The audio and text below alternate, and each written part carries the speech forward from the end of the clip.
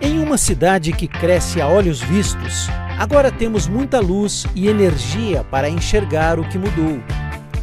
Um dos mais importantes avanços nos últimos anos está justamente nesta luz que ilumina nossas novas avenidas, novas escolas, novas unidades de saúde, novos parques, praças e também as casas de quem vive aqui.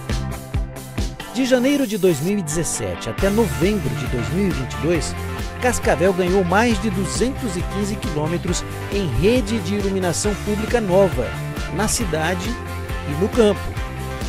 Se colocarmos estes novos pontos em linha de rede, seria o suficiente para iluminar quase metade do percurso de Cascavel até a capital, Curitiba.